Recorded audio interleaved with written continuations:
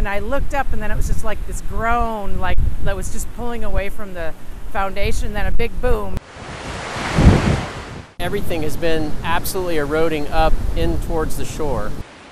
I knew it was imminent that it was going to go over. It's been hanging off for quite a while. In fact, even when it was when my great grandfather had it, it was very close to the bank.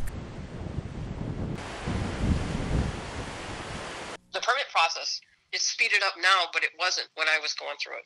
I don't want to blame anybody except myself. I tried everything I could. Most people don't realize you can use lose that 20 feet in a night. Just three doors down or five doors up, their entire sections of stairs have fallen off. I don't know what's going to stop it. It's Mother Nature.